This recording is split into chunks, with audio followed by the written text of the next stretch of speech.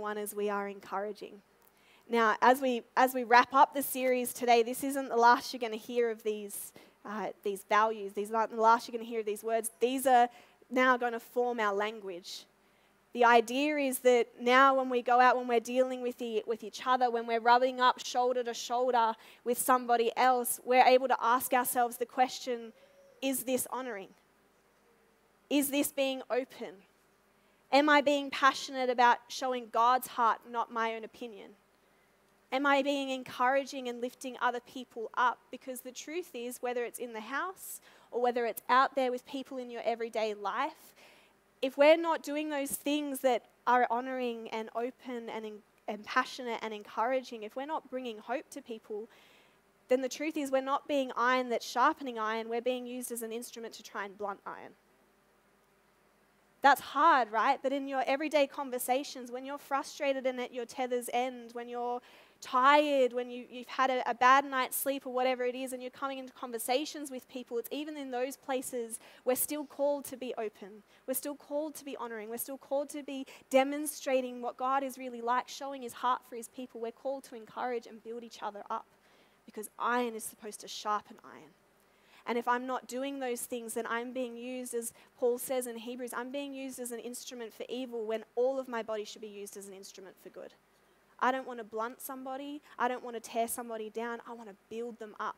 I want to seek after the gifts that strengthen the church. I want to seek after the things that encourage his people to go and be part of what God has got for them. And that's what this morning's value is we encourage. We are encouraging. We encourage each other to take hold of all that God has for them. God has more for you more for your neighbor, more for your husband, more for whoever you run up against in your life. He has more for them than just salvation that gets them a ticket into heaven. He's got more in store. You're supposed to see the goodness of the Lord in the land of the living. You're supposed to see more here, but more than that, you're supposed to have a very full inheritance. You are now joint heirs with Christ. He's got more for you than just that you said the sinner's prayer and now you're saved and now you know Him as Lord, and that is fantastic. And that is what we want everybody to experience to have an eternity with Him rather than eternity separated from Him. We want that, we desire that, but that is just the beginning. I remember when Jordan, Jordan and I were dating for four years before we got engaged, another year of engagement, and then we got married. And some could maybe think that, oh, yeah, finally he put a ring on it. Like, finally he took the hint and he, he married me, right? Best thing, the, ever, eh, best decision he ever made. That's what I think. You can be tempted to think when you've been doing something for a long time that you get to the wedding day or you get to that promotion or you get to whatever and you think that I made it, this is it, but it's actually just the beginning because there is so much more in store for you and that when you step into what God's got for you to take hold of all that is on offer take hold of all that the cross purchased for you take hold of all that his blood has covered restored redeemed take hold of the freedom that he has set you free for take hold of life. He has more in store for you and we are a people who encourage one another to take hold of all that we're a people who will come up alongside people who maybe have been on this merry-go-round where they seem good for a season and then they just keep going around the same mountain. It's like the Israelites keep circling around, and we can be tempted to be like, well, you should know better, and we walk away. No, we're a people who are going to come alongside them and encourage them that there is, this is great that you've got salvation. This is great that you know the Lord. This is great that you love Him. Now, let me show you what kind of gift He's got in store for you. Now, let me show you what kind of life and freedom and hope He has in store for you because it's not just getting to the wedding day. Now you get to take hold of the marriage. Now you get to, I, I was so excited when when we got married, it was, I felt like we got to have a sleepover every night with your best friend. It was fantastic. I remember laying there and thinking for so long, like our entire honeymoon, for, for like months into our marriage, I remember waking up in the morning being like, oh, I wasted the opportunity just to like hug you all night because I fell asleep. What a waste. It's like it was like just beginning because now we were going to experience a greater intimacy and closeness than we were ever experiencing before we got married. It's just the beginning. There's this, this enjoyment to take hold of the more. And if we stopped and settled at the place where it was just like what we were doing when we were dating, what a waste. Because marriage has more. If we just got to the place where we get them to salvation, and then we go, okay, you're on your own, you found Christ, that's tick one for me, another tally on the board that I, I led one to Christ, another one I get to take in the bus to heaven and say, look who I brought to you, Lord. If we stop and say, okay, that's you're on your own now, we've missed the part of take hold to make disciples of all nation because we're meant to encourage them, walk with them, lead them, encourage them to take hold of all that God has in store for us. Because freedom, He set us free. Life and life more abundantly. We touched on last week when we looked at Peter how Jesus didn't just get him back to the place of his first love. Jesus didn't just get him back to the place where uh, you've caught your fish and you, you know you, you were tired, you were struggling, you were doing this all night in your own strength. And I didn't just, he didn't just get him to the place where he got to catch a large fish and now it's like, oh, thank you. Thank you for that. I, I will make sure I ration this so that I don't run out. No, he brought him to the shore. He, he prepared a meal for him that wasn't based on his own strength. But what did he do? He healed the wounds that were hurting him. Peter was so cut up and distraught about the fact he had denied the living God, he'd denied the Son.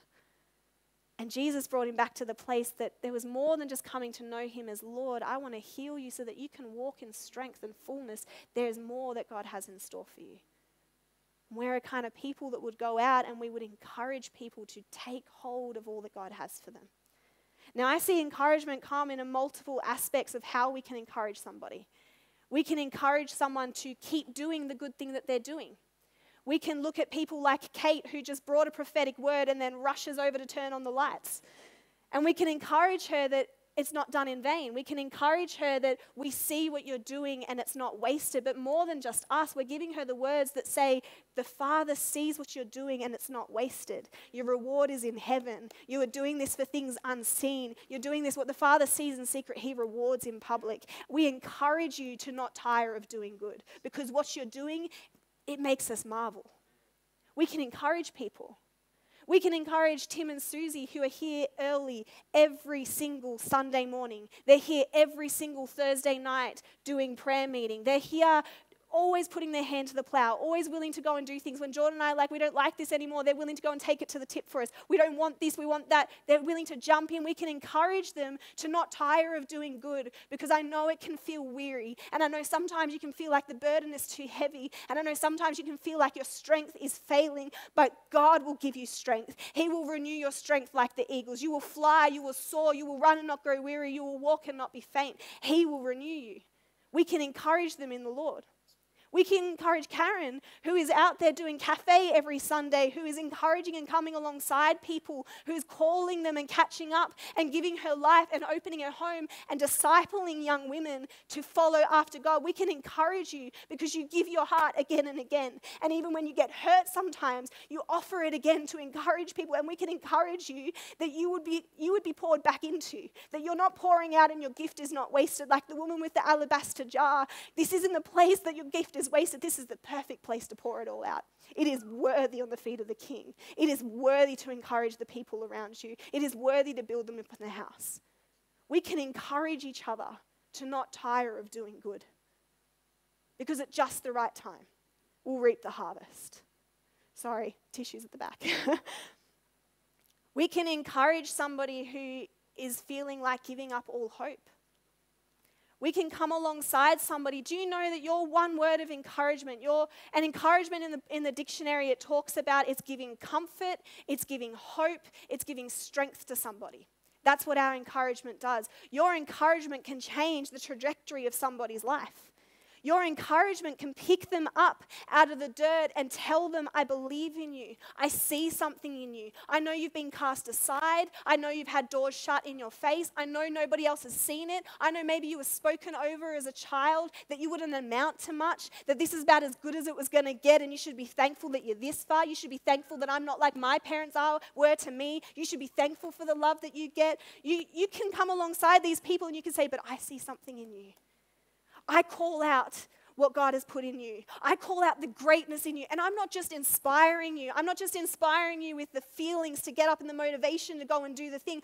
I'm not just giving you this, this example in front of you of look what you can do and making you feel the things of like, I want to shoot for the stars now. No, I'm calling out the very thing that was planted in you, knit together in your mother's womb. I'm, plan- I'm calling out the image of God from within you.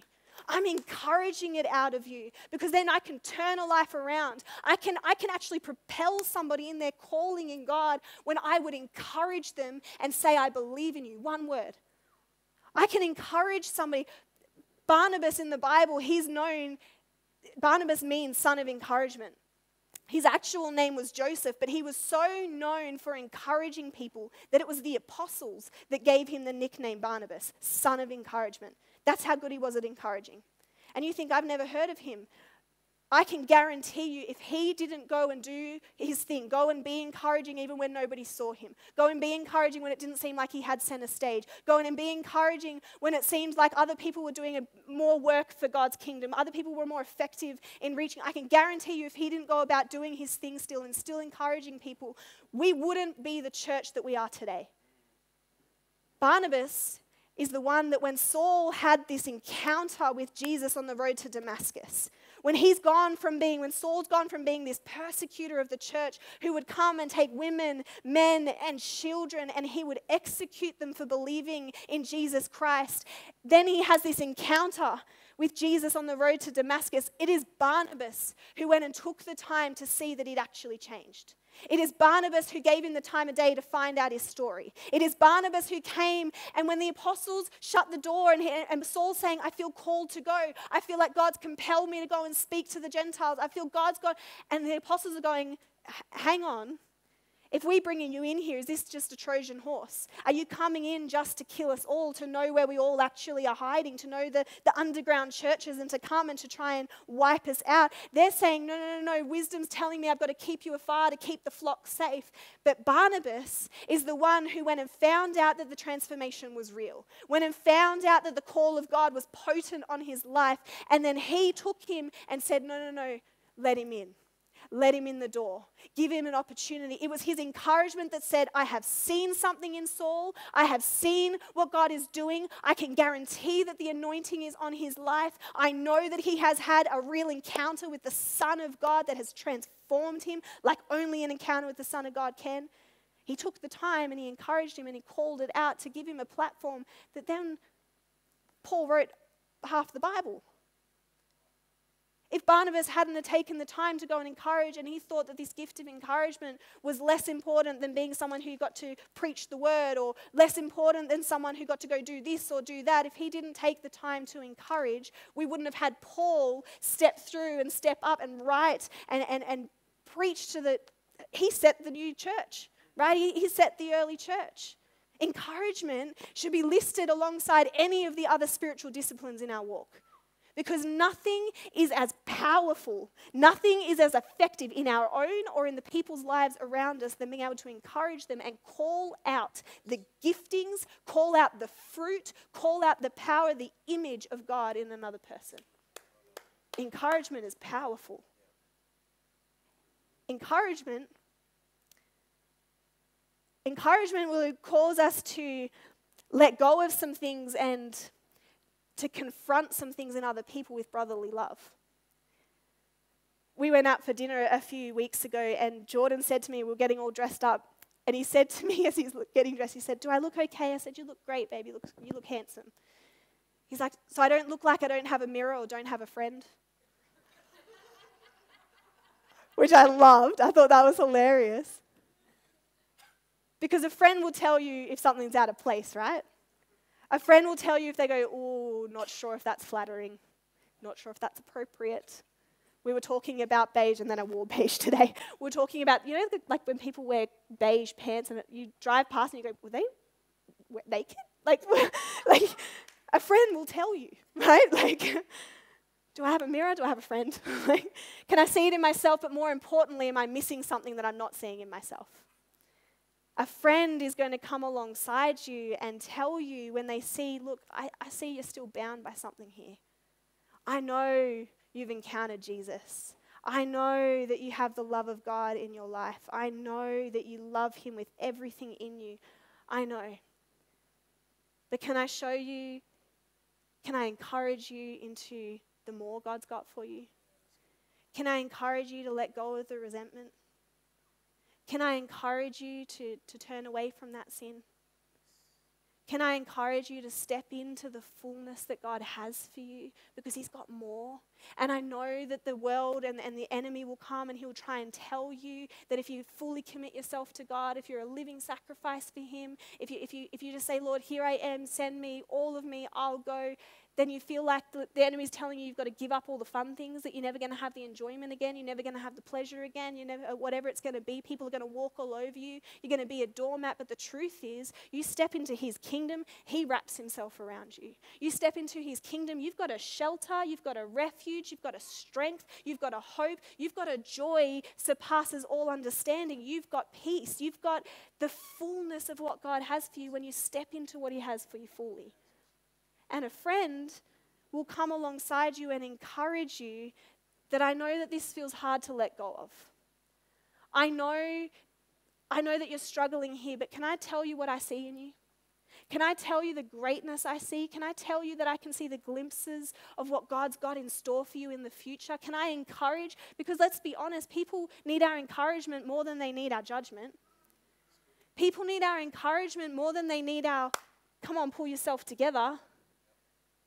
It, it is in the Bible when people encounter the goodness of Jesus that they go, Oh Lord, oh Lord, my filthy lips. Oh Lord, oh Lord, I repent. It is when they've encountered the goodness of the King. It's not when they've encountered judgment. It's not when they've encountered legalism. It's not when they've encountered anything other than He is so good, so merciful, so gracious that He would love me when I am unlovely. It is in those places that we see them cry out, Oh Lord, oh Lord. Isaiah, when he, he sees heaven and he sees the angel come and uh, he, he sees heaven, right? I don't know if you've, you've read through this prophecy of Isaiah, but he says, Oh Lord, I am, a, I am an unclean man of filthy lips. Did he need someone to tell him? Did he need God to come and say, You have been saying that over and over again? It is time you pull yourself in line. You ought to do better, do better, do better. No, it is when he's seen the goodness, it is when he's seen the mercy of God, it's when he's seen the, the grace of God that says, I still want to use you when you're still unclean. I still want to use you. I still want to love you. I would send my son for you while you're still an enemy of me. It is that place that then he says, I repent and turns. Our friends don't need us to come alongside them and give them some tough love. I know that is language we seem to like to use in our culture. We've, we've got this tall poppy syndrome in Australia where someone gets too tall, we've got to bring them down a size, right? Because we don't want their head to be, I'm doing them a favor. I want them to be able to walk out the door and their head not get stuck on the way through. We think we're doing people a favor. No, you know what? The world cuts people down enough. The world tells them they're not good enough enough. And if, if it wasn't other people saying it into them, I can guarantee you there is a voice in their own head that is tearing them down. There is a voice in their own head that is remembering and re- rehearsing and nursing these hurts and these things that people have said against them their entire life. They don't need you to straighten them out and fix them up. They need you to call out the goodness of God. They need you to call out the grace of God. They need you to call out the one whose image they were made in. They need you to call out the one whose their real life is hidden with Him in heavenly places. They need you to call out the goodness and the image of God with them so that they would want to rise up, so that your encouragement would come alongside to those who are willing to give up, ready to give up, and it would give them the courage to get up. You would call out the greatness in them so that they could propel forward in the ministry, they could propel forward in their life, they could go and be an encourager of other people so that it would can continue to domino. They don't need you to straighten them out, they need you to lift them up. Paul says all through the word, so continue to encourage one another, build each other up. Let us not grow tired uh, or, or weary. Let us, what, what, does he say? He says, let us think of ways to motivate each other to acts of love and good work. I've got to think of ways to motivate you. I'm not, I'm not condemning you. I'm not coming and telling you, making you feel so guilty that now you're, all you're going to do is curl up in a ball of shame and go back to what you've done before. When you feel condemned, when you feel judged, when you feel like you've, you've missed the mark and someone has pointed it out to you over and over and over again, You might be able to stand up and try better for a little bit, but eventually the enemy's going to get in there and you're going to tell yourself, I can't do any better. I've tried and I've tried. What's the point? I'm going back. No, people don't need our strong hand, people need our encouragement. Because if Jesus didn't blow out a flickering candle, if Jesus didn't crush a weaker's reed, why do you think he sent his church to go and slap some people? He's called you to be an encourager. He said that you would be known by your love. We encourage it out of people. I want you to turn to John chapter 11.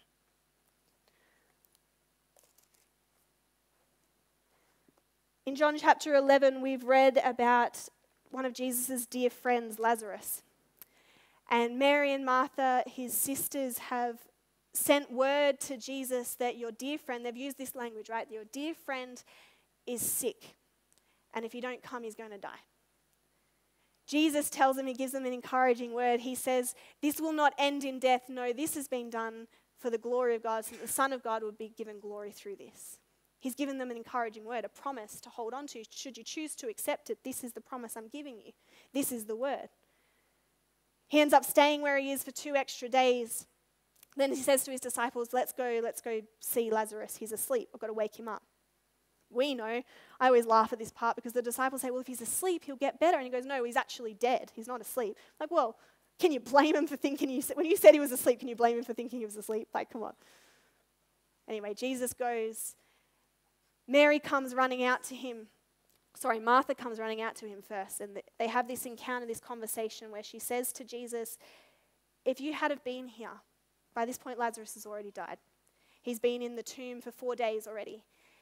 And Martha says to him, If you had have been here, he wouldn't have died. But even still, I know that whatever you ask of God, he will do it.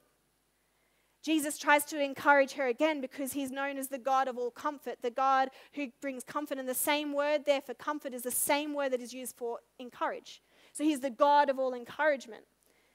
And he's giving Martha this encouragement that I am the resurrection life. Whoever believes in me will not perish but have eternal life. Do you believe this? They will rise from the dead. Yes, I've always believed that you're the Son of God. She goes back to the mourners. Mary comes running out, and she comes in such a haste that all the mourners take notice, think she's going to the tomb, so they come with her. Jesus sees her coming, sees her wailing. She says the same words that Martha said If you had been here, he wouldn't have died. He looks around and he sees the mourners weeping and wailing around, and he says to them, he gets mad. This is where we see that Jesus wept. This is the, the, all, the infamous, shortest Bible verse ever. Jesus wept. Why is he weeping? He's not weeping just because his friends passed away, because he knows that this doesn't end in death. What's he weeping about? He's weeping that he gave them a promise, he gave them a word, he gave them what was coming ahead, but they didn't take hold of all that it was. And so now in the in between, it's still going to happen. He's still going to resurrect Lazarus, but now in the in between, they've had this period of, of deep grief. They've gone through this mourning, and as a compassionate, loving God, he, his heart is breaking for them that because you didn't take hold of all that I had, you had extra mourning along the way. You, you went through some things, you felt some things. And I'm not just talking about a bit of sadness because you watched a movie and someone died on the movie. I'm talking about deep grief and he gets mad and he gets sad because he looks and he says, You could have, you didn't have to have this. You didn't have to carry this mourning. You didn't have to carry this weeping because if you had taken hold of the promise that I gave you, when I gave you that encouragement that this wouldn't end in death, if you had have actually taken hold of all of that, you could have skipped this and instead gone through this period of him in the tomb, gone through this period of this feels weird, I don't know what God's going to do, but I'm expectant. I'm hopeful. I'm confident in his faithfulness. And instead of having your stomach twisted in knots when you're waiting on things to come to pass and you don't understand, when you've been laid off your job and you don't understand how God could get you to this place, instead of coming and calling the prayer chain and, and doing all these things where you just become this, this weeping, sorrowful person in front, instead if you stood up and you go, Lord, man, how, I, don't, I don't understand what you're doing. I, I've never seen this before, but how, how grateful am I that I'm doing it with my provider? How grateful am I that I am waking up with you, knowing that you're my strength, knowing that you're the one that meets every need. How grateful am I that I'm waking up with you. I don't have to understand the end result. I'm just confident I know who you are and I know what you do for me. I can skip the, the stress. I can skip the ulcers in my stomach because I'm so torn up with worry. I can skip the mourning and the whatever it might be. When I hold on to the promises that God has, I take a hold of it in full because I know what He has is good. And whilst there is still breath in my lungs, He is not done yet. That is, that is our Christian walk. When we come alongside people who we see are struggling and they're, they're buried beneath the burden of life, buried beneath the burden of this and that, whatever it might be that they're in turmoil, we can come alongside them and we can say, Do you remember when Jesus told you this wouldn't end in death? Do you remember when Jesus gave you this promise that meant that you didn't have to settle down in this pit of despair, that you could rise up above it and know that my God walks on water, my God moves mountains, my God pursues me, my God loves me? Do you know? Can you take hold of the truth and the promise? Okay, come alongside. And, and, and we know that we read in the word that laughing in the face of someone who is weeping is like, I can't remember the exact analogy it gives, but it's like vinegar in a wound. Like it, it, it is painful and it's abrupt, and you're supposed to weep with those who weep, mourn with those who mourn. But once I've come and I've said, I can feel you, and I hear you, and I see you, and I'm sorry, but God still turns all things for good. I'm not coming up with empty flattery. I'm not trying to come up with the right words to someone who's going through a hard season and a hard time. And I'm not discounting the feelings that come with that. But I can come alongside them and I can remind them that let hope live. Hold on to hope. I love in Hebrews 10, it talks about how, I'm not going to turn to it because I don't have my glasses on, but he talks about how let us hold firmly to the hope we have attained. Then he goes on to let us motivate each other to acts of love and good works. I find that so interesting. The whole passage is called a call to perseverance. And in the call to perseverance, he says, let's hold tightly to the hope that we have. How do we do that? We motivate each other in acts of love and good works. How do I hold on to hope? How do I keep lifting up my head? How do I keep knowing that everything is going to work out for the glory and the goodness of God? How do I know? How do I keep the promise? Because I know He has said to me, I have plans to prosper you, to give you a hope, and to give you a future. I have plans for greatness in your life, the things that I'm going to do for my glory. This is going to give me glory. It doesn't give the king glory if his, if his servants, if, if his loved ones are, are beaten down and, and in slavery. It gives him glory when they see that he can set a nation free. It gives him glory when they can see that they're going through it, and yet people look at them and they still have peace. They still have joy. They still hold on to hope. How do we help each other hold on to hope in those hard seasons? How do you help each other when you've got weak hands and tired knees? We motivate each other to acts of love and good works. We come alongside and we encourage one another. We call out the image of God. We remind them of the promises of God. We turn to the word and we offer the words of living life, not just our own empty words of flattery. We encourage one another, we call it out. Jesus then, after getting mad and, and sad about their mourning over all of this, he, he says, Take me to where you've buried him. They take him to the tomb. He says, Roll away the stone. To which Martha protests, Lord, he's been dead for four days. His body will be decayed. The stench is going to be horrendous. Didn't I tell you that you would see God's glory if you only believe. So they roll away the stone. Yes, sir. Yes, sir.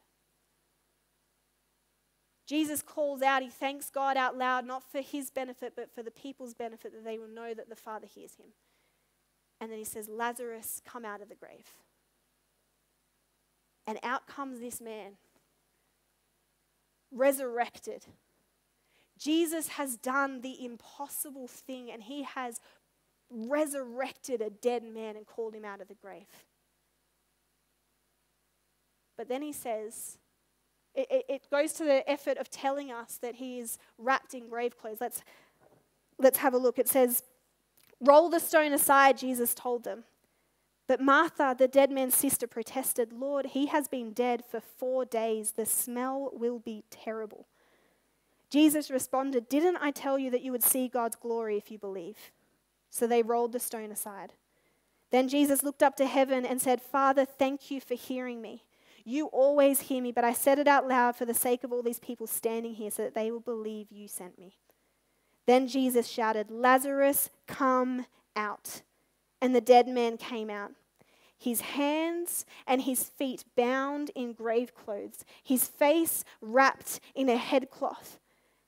Jesus told them, Unwrap him and let him go.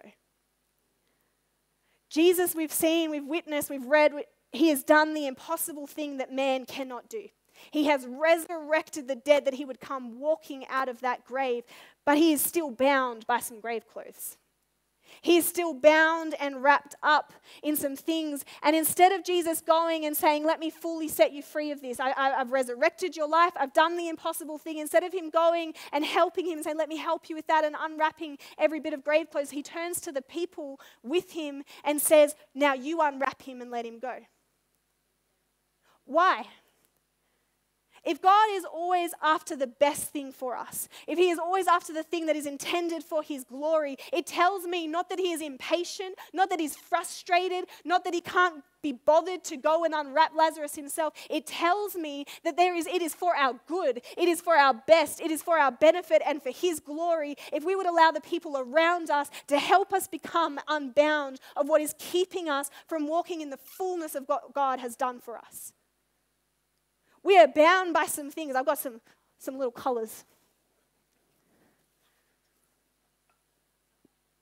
God has He's rescued you from that abusive relationship.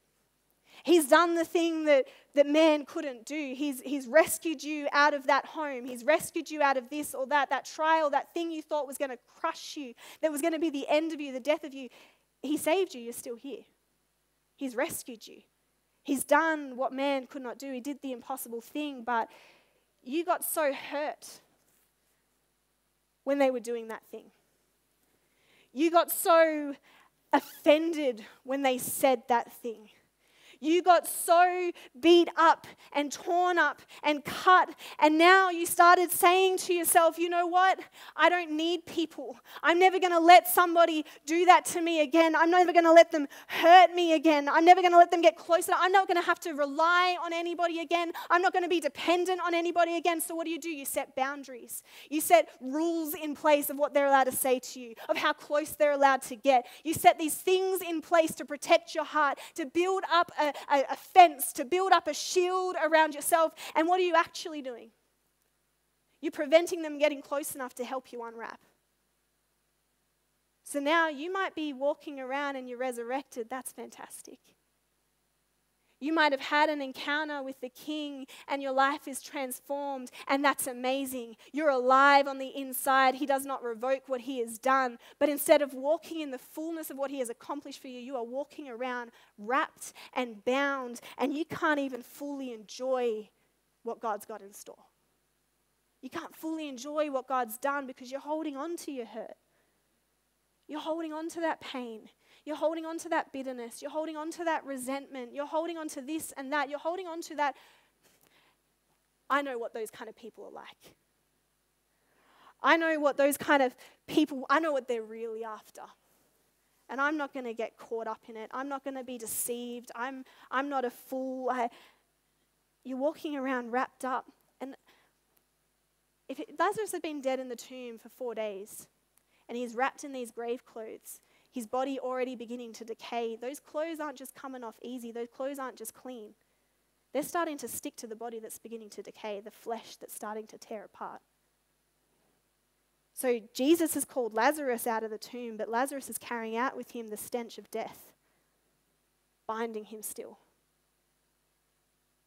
You've been called out of that thing. You've been rescued. You've been redeemed. You've been restored. He's done the impossible thing. And yet you wonder why, when you walk around bound and with your attitudes and with your heart and with your beliefs and with your preconceived ideas, and you wonder why people scrunch up their nose at the stench of death. You need to let people get close enough to come and help you unwrap. Let us. Let us come and help each other. Since we are surrounded by such a great cloud of witnesses, let us strip off the things that bind us. Let us strip off the things that weigh us down, especially the sin that so easily trips us up, and let us run with endurance the race set before us. Let us be free. I know that they hurt you. I know that it left a scar. I know that you're scared of what people can do. And you know, the truth is, I see through people who seem hard on the outside, and I see the softness of the heart on the inside. I see the dead man raised. But you can have a very real encounter with Jesus. You can come and you can be weeping in your repenting of the sin you're turning from. You can come and you can have this very real, um, life changing experience where you have, you've literally been dead back to life. And yet you can still be carrying around attitudes, beliefs, feelings, hurts, nursing past scenarios in your head that is actually detrimental to what God's wanting to do in the kingdom. Because do you know if dead flesh stays connected to living flesh, the dead flesh jumps across to start decaying the living? Do you know that even though you have been restored and redeemed and you are loved and, and God sees everything in you, do you know that your attitudes can still rub off on the person next to you and give them a bad taste for church? We have to unbind but we can't do it by ourselves. I mean, that was a bad illustration. I should have wrapped myself up so tight I needed Jordan to come up here and let's cut me free. There is a reason Jesus turns to the people and says, You unwrap him, let him go. We're a people who would come alongside and we would encourage each other to take hold of all that God has for them we would encourage them to turn away from that and have another chance. We would encourage them and say, I believe that there is something in you. Let me help you up. We would call out the image of God in them. We would call out the greatness. We would call out the masterpiece God has made them because we know that they're a child of God. Paul says in 1 Corinthians, he says, I thank God for you because I know through Jesus Christ you have open and ready access to the grace of God. What does that mean? It means even someone who is down in the dirt, even someone who is bringing it on themselves, even someone who is choosing to go and do, the second that they turn and accept Jesus, the second that they repent of their sin, they have ready and open access to the fullness of the grace, to the fullness of the mercy, to the fullness of the inheritance, because that is how sufficient the grace of Christ is. And we encourage them to that place. We don't reprimand them. We don't come alongside with a harsh word to tell them you've got to straighten out, you've got to fix up, you've got to do this. No, we come alongside and we say, Let me help you. Let me help you unwrap because I can see you're bound. Now, our values, they're not an independent checklist, they're not one thing independent of another, they are wrapped together. My encouragement of another person is only as effective as they are open to receive it. But how can I help someone be open if what they're hearing come from my mouth is dishonoring? How can I encourage somebody to be open with me if what they're seeing in my life, the example that I'm setting, isn't the love of the Father? It is legalism, it is religion, it is judgment. How can I encourage them to be open if I'm not being the church that God intended us to be? We are honoring. We are open. We are passionate. We are encouraging. We bring. Because these th- three remain faith, hope, and love. To finish up, we're going to turn the music on and, and pass out the communion. I want to just give you five simple suggestions of how can we encourage other people. Now, I can't take credit for these words. I read this in a book. I thought it was great. Didn't think I could say it any better, so I wrote it down. Christian encouragement or depositing godly courage into one another through our words and actions is a command. It may feel awkward or countercultural, but we get better with practice. So here are five suggestions. Number one, turn to the word. You don't need to try craft the right words. Let scripture be your starting point. Share with others where you see the Spirit working in them and through them. Point out the fruit of the Spirit you see growing in them and affirm them in their spiritual gifting and faithful use of those gifts. Celebrating another's spiritual fruit and gifting is a great start towards true Christian encouragement. We need to celebrate one another. We need to not feel intimidated or like they're excelling means that we're not doing good enough. No, we need to celebrate the giftings. We need to celebrate the fruit in one another's life. Number two, be specific. Our encouragement is most meaningful when we take interest in others and are specific. Be observant. Then, based on what you observe, offer examples of how you have seen this person live out their faith. Specific examples bless the hearer and show that you have taken a genuine interest in them. Paul tells us don't just say you love one another, genuinely love one another. Take an interest in others too. Don't just look out for your own interest. Don't think you're too proud to, or too important to go and help somebody else. He says you're only fooling yourself. You're not that important. People are the point. Number three, be intentional. Give thought to who could use encouragement. Spend time intentionally telling them how you see them being used by God specifically. It goes deeper than a simple compliment. The goal is to call out where you see God's image in them. Number four, be selfless. Don't hold back from encouraging someone for fear you'll feed their pride or reduce your own opportunities. Don't let your own insecurities inhibit your encouragement and honoring of others. You can encourage someone for their benefit without flattering them for your own. We have a choice to be selfless or selfish in our encouragement. And number five, be courageous. Don't just encourage godly things already being done, but encourage the pursuit of godly things not yet being done as well. We often need godly courage to pass along godly courage.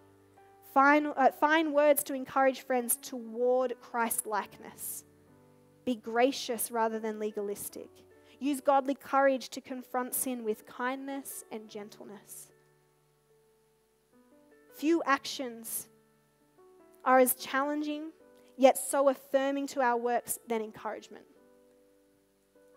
When we encourage someone, we have the opportunity to speak healing truth into their life, and we do this by grace through a heart changed by Christ. Proverbs 12, verse 18 says, Some people make cutting remarks, but the words of the wise bring healing. We are an encouraging people. We're a people who's going to come alongside and tell them, I don't think that looks flattering on you. We're going to come alongside them and tell them, I don't think you can see this in yourself. And eh, we, we don't just come with our own words. Like, you, I, I want you to go and ask the Holy Spirit for how, the wisdom, the, the, the love to go and confront somebody. Because if the people around Lazarus' tomb came up and saw that his hands were bound, and they jumped in and thought that that's bound, I have to cut it off, rather than just remove the grave clothes he would have walked around amputated. We have to have wisdom by how we come alongside somebody and encourage life out of them. We have to love them back to life, not harsh words. I don't want to cut off the hands to remove the grave clothes. I don't want to throw out the baby with the bathwater. We use the Holy Spirit who gives us wisdom and love and allows us to see through His eyes. Ask Him, He'll show you. He'll give you strategies that you can't even come up with yourself. So many times we've had times where we're like, okay, we need to we need to talk with this person just to encourage them along in maybe they need to grow in this area, maybe they need to do this. And when you spend the time, rather than rushing in with your opinion, rather than rushing in with your better idea, rather than rushing in with how you think you should do it, if you spend the time praying, often, not always, sometimes we, we have to confront, we have to do whatever, but often the problem will resolve itself because we spent the time in prayer and the Spirit has gone and softened their heart in advance and they've come and said, I want to change this. They've come and pointed out something that we saw in them beforehand. And it wasn't us running in to cut, to change, to remove. Because I, lo- I love what Paul says run with endurance the race set before you. often, if we're honest, we would come alongside, we would encourage, and our words to try and shape and mold somebody is we're trying to conform them to run the race we're called to race, to run. When we're coming alongside to encourage, we're not just conforming them to be more like us. We're not gift projecting, I'm good at this, so you should be good at this too. I do this, why don't you do that? That we're not gift projecting on people. We're encouraging the gifts God has put in them to rise up. We're giving them the courage to step out in faith. We're encouraging them to run their own race. And in the doing so, we're not confused to think we're meant to call, run their race either. We just encourage each other because one body, many parts. We need each other. Let's stand up to our feet.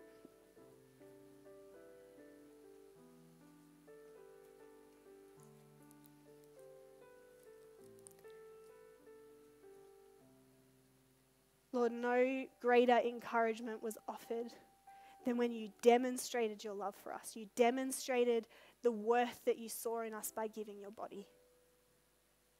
You're the Father of all encouragement.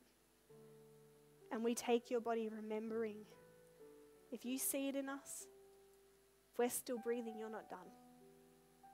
And we take that encouragement to walk in the fullness of what you have for us, open to others to help us in Jesus' name.